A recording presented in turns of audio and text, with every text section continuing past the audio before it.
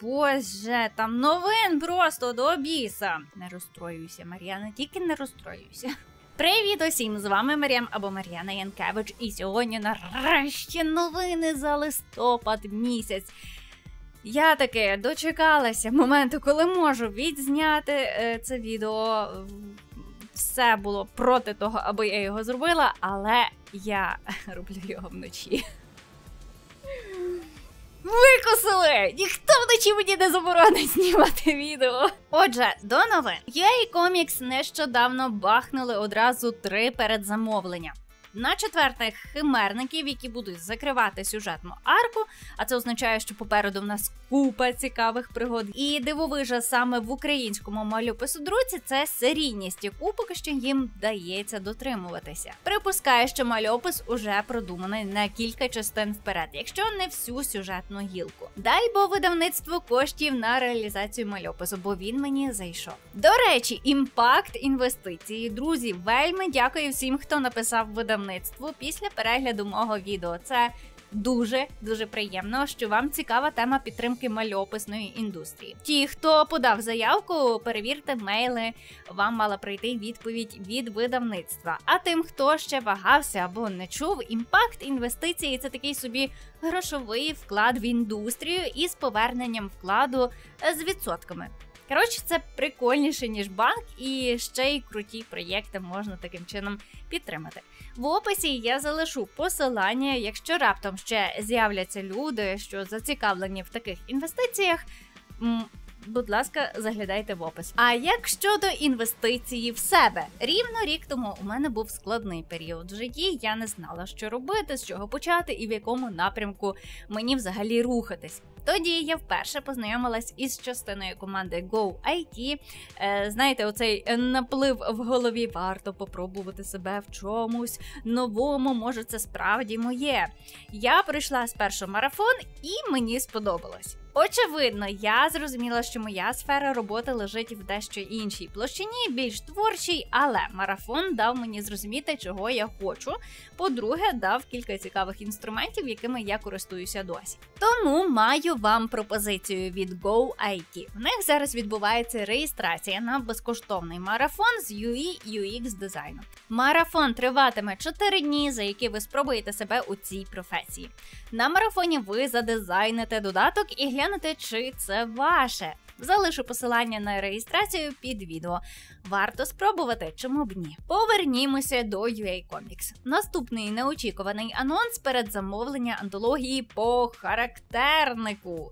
В нього з'явилася стилізована під кіберпанк нова обкладинка в яскраво глічових тонах. Буде вміщено всі на даний час опубліковані частини та спешали, додаткові матеріали, що розкриватиме світ неохортиці трішки більше. Про основну сюжетну лінію поки що не говорять, але це і зрозуміло, тому що пан Чорний, сценарист характерника, зараз перебуває в лавах ЗСУ. До того ж, антологію зараз можна передзамовити з тематичною футболкою, і все це діло коштує разом 1200 гривень. Якщо брати тільки антологію, вона коштує 450 гривень. Як ви знаєте, ціна передзамовлення завжди є нижчою за оригінальну, тож ви знаєте, що робити. І третім перед замовленням UA Comics здивувало, тому що це абсолютно новий проєкт від художника Максима Солнцева під назвою Залізний ідол, частина перша. Історія про персонажа, який не знає, хто він і що тут робить.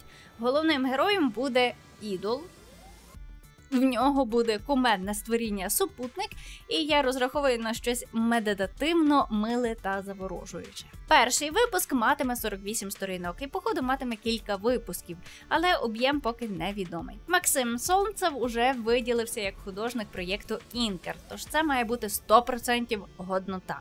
Слідкуватимемо. У мольфарів анонсовано новий тайтл. Звісно, це манга. Сміх під захмарним небом. Том перший. Історія оповідає про період реставрації Мейдзі, а саме 1868-89 роки, коли Японія перетворилася з відсталої країни в одну із найпровідніших держав світу. Тоді ж правління перейшло від щогонату до імператора. Змінився устрій життя японців. Почалися впроваджуватись інновації західної цивілізації. Власне, в такому світі і живуть три брати, головні герої манги. Що не нам попахує, але побачимо. Також у мульфарі виходить книга продовження World of Warcraft та Warhammer 40 тисяч. Завжди важко прочитувати ці назви. Заглядайте до них і купуйте. Ланцу та Паблішер відкрила передзамовлення на другий том манги монолог трав... травниці. Травниці. Вона не травить, вона вирощує трави. Я роблю все гірше. А першу частину вони вже розіслали перед замовникам, і вона скоро з'явиться на поличках крамничок. І якщо вірити словам видавництва, ця серія зараз займає одні із перших місць в топі продажів у США в кількох категоріях. Серед романтичної манги посідає дев'яте місце чи дев'ять перших сходинок. Не зовсім розумію, що це мається на увазі. Серед художньо-історичної манги посідає сім перших місць. Серед детективної манги займає дев'ять перших місць. Серед кращої манги, що має аніме адаптацію, три перших місця. Зараз монолог травниці це абсу... травниці це абсолютний світовий бестселер серед манги. Ну що ж, повіримо на слово. І поки у вовкулаків новий СММщик і вони спамлять уже відомими нам тайтлами, у Fireclaw розсилають другий томик Мої вітання Блек Джеку. Його можна вже знайти в крамничках. Із сумного видавництво скасувало передзамовлення на вдосконалена людина павук. Боже, єдиний нормальний тайтл з поміж японщини, і то скасований. Причина зв'язана з ліцензією, якась неприємна ситуація, за словами видавництва. Проте натомість видавництво пообіцяло інше видання, яке вони готують до друку. Тож слідкуємо за новинами. Наша ідея ще на початку листопада анонсувала новинки. Це і другий том манги Гра короля, другий том синьої тюрми, третій том Левіафану, і це завершальний том серії. Сага про Вінланда, том сьомий, ательє чаклунських капелюхів, том восьмий, який вийде у двох варіантах: звичайному та колекційному е, вигляді. І сьомий том Ганібала. Та нові серії ще не були анонсовані на час, коли я робила попередні комікс-новини. Тож наша ідея запропонувала читачам. Перший це постапокаліптичний світ, в якому вже 200 років як не існує Японія. Назва тайтлу проєкт Цугумі. Світ знищив Японію ядерним дощем, а все через загадкову могутню зброю під назвою Проєкт Цугумі. Тепер країни сонця не існує лише руїни та незайманий світ який утворився на згарищі. Головний герой Леон, елітний військовий, має секретне завдання на мертвій території. Його не цікавить місія. Йому ж пошвидше треба виконати завдання, аби з нього зняли лже звинувачення. І судячи із зображень, манга виглядає дуже топово. Припускає, що головний герой зустрінеться там із тамтешніми мешканцями, що еволюціонували у щось. Е- значно крутіше. Або це і є та славнозвісна зброя Японії. Малюнок прям вражає, я точно хочу цю мангу собі в колекцію. Що цікаво, манга була спершу випущена у Франції в 2019 році, хоча намальована японцем і видана, в принципі, японською фірмою. А згодом серії почали виходити в Weekly Young Magazine, який належить компанії Kodansha, ну що і є власницею манги проєкт Цубумі. Просто вони зайшли спершу на європейський ринок. Серія проєкту Цубумі завершена, тож ми точно знаємо, що наша ідея видасть всі шість частин. Другий тайтл мемуари Ванітаса. По стилістиці нагадує ательє чаклунських капелюхів. Події відбуваються в 19 столітті, а герої носять рюшечки. Історія про вампірів, точніше про гримуар, який може їх знищити. І наш головний герой Ноє відправляється на пошуки цього загадкового рукопису. Ну і він зустрічає Ванітаса, який, здається, є автором гримуара, але це не точно. По зображенню можна припустити, що буде все лакшерно елегантно. Це щонен для віку 12+, тож буде щось лайтове. Мальопуси упоролися по Гаррі Поттеру, і тепер в них там передзамовлення книги ласощів по Гаррі Поттеру. Також другий том відьомського раю уже в продажу. Відкрили передзамовлення на другий том Томія, і там буде не менш кріпово і загадково. А ви чули про скандал? Так, у нас цих скандалів як насрано, то Фаріон щось ляпне, то ще обкладинка кідрука. Хоча, якби останній не робив дослідження в цій області, я б здивувалась. Це ж кідрук, come on! Цього разу виділився Дмитро Феліксов. Він же засновник книжкової крамниці Read It.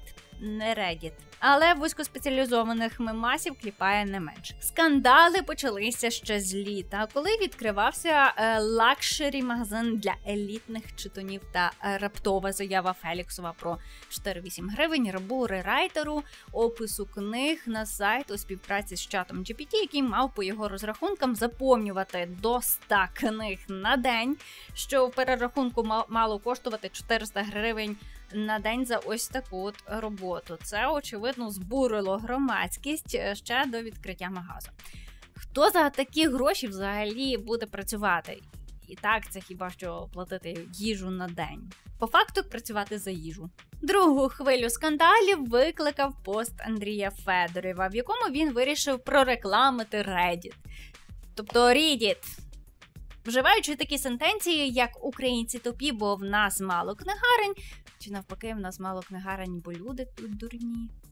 Щось таке. І це породило довкола рідітівські обговорення. Звісно ж, в нас люди читають як мінімум соцмережі кожен день по вечорах. Тому не підіть. Ну і тепер Феліксов знову щось дивне сказав у Форбс. Найпростіший приклад це із книгою про Меттю Перрі. Після смерті актора книга зросла в попиті.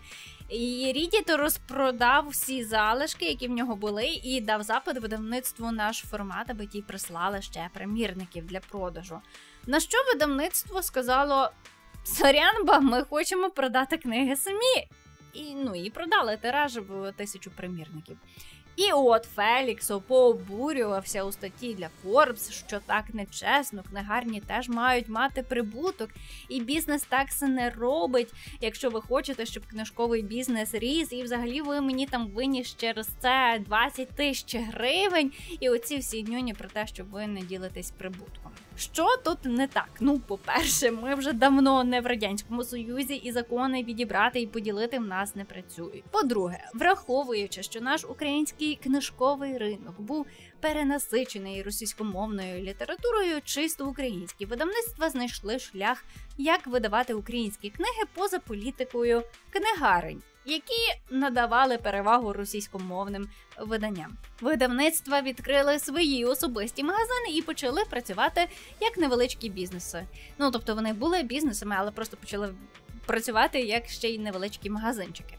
Так, книгарні це один зі способів дистриб'юції товару, але не більше. Книгарні не вкладають в друк, переклад, покупку ліцензій і супутні речі, аби видати книгу. А видавництва так. І очевидно, що прибуток від книг з книгарні дистриб'ютора буде меншою ніж продаж напряму. Всі видавництва зацікавлені у прямих продажах, бо це більше грошей. А більше грошей більше нових видань. Як великому бізнесмену Феліксову мало би бути це зрозуміло.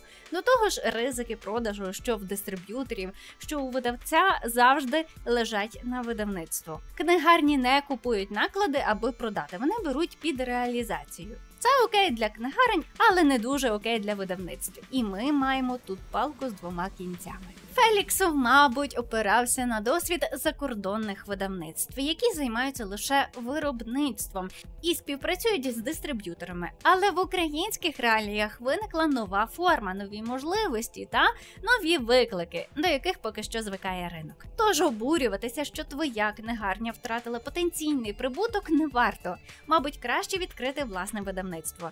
Тільки не називай його репіт. Ось такі от справи. Насправді я ще читала таку думку, що е, Red It, ні, боже, Repeat, ні, Read It. Е, кажуть взагалі, що це з російської назви, яка в них була раніше, і вони вирішили її перекласти англійською але кажуть, що у ці всі вкиди зі всякими оцими скандалами вони мають певну структурованість і систематичність. Тож е, цілком може бути, що ці вкиди зроблені навмисне о великим бізнесменом, аби е, побільше привернути увагу до свого ем, до своєї книгарні, але не факт. Так, ось такі от невеличкі, а може й великі новини. Стаг... Е, трошки стагнація така коміксова, як ви помітили. Е, Немає оцієї руханки перед е, святковою, точніше, ця руханка є, але знаєте, всі так перестрахувалися і не друкують нічого нового перед різдвяними святами, тому що знають, що вони просто встрянуть в оце, оце лайно черг так, я висловила про е, висловилася як лайно в чергах, е, чергове лайно.